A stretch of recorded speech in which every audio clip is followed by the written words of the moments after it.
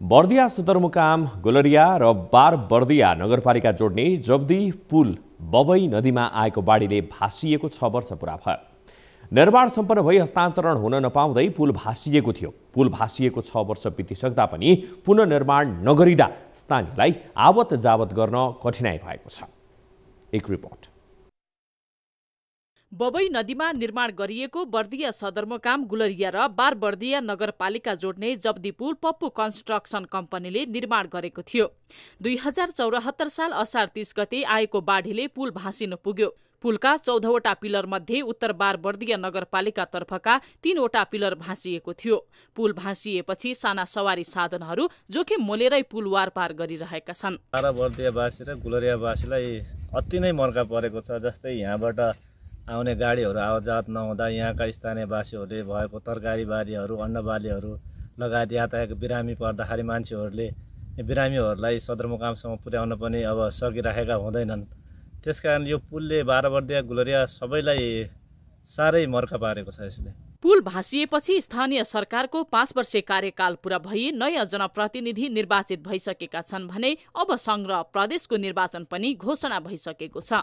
सरकारका मन्त्री र उच्च पदस्थ कर्मचारीहरूले पटक पटक पुल अवलोकन गरी छिट्टै पुनर्निर्माणको आश्वासन दिए पनि अहिलेसम्म काम भने हुन सकेको छैन। आवजात गर्नलाई अब यत्रो वर्ष भइसक्यो भनौँ तयार भएदेखि फेरि एक वर्ष नहुँदै भत्कियो होइन।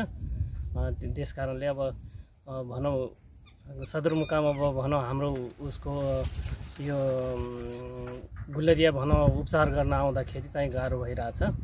एम्बुलेन्सहरू पनि अप्ठ्यारो भइरहेछ। जब्दीपुल भाँसिएको करिब पाँच वर्षपछि अख्तियारले दायर गरेको मुद्दाको किनारा समेत लागिसकेको छ।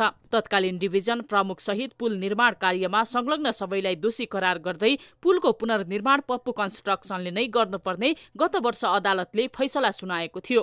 तर पुल पुनर्निर्माणमा समस्या भइरहेको जनप्रतिनिधिहरूले बताएका छन्। पुल निर्माण नभएको कारणले गर्दा हाम्रो यहाँ रहेका लगभग अठहत्तर हजार नागरिकहरू अहिले वैकल्पिक बाटोको रूपमा चाहिँ दुईवटा बाटोबाट चाहिँ हिँड्नु परेको अवस्था चाहिँ छ।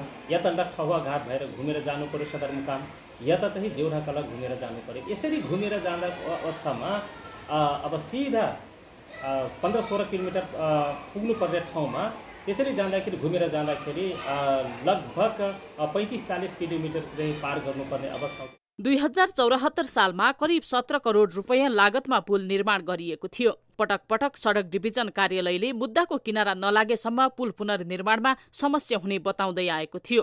तर अदालतले फैसला सुनाएको एक वर्ष बितिसक्दा पनि सरोकारवाला निकायले पुनर्निर्माणमा चासो दिएका छैनन्। न्युज ट्वेन्टी फोर टेलिभिजनका लागि बर्दियाबाट टिभी जर्नलिस्ट ज्योति पन्थीको रिपोर्ट।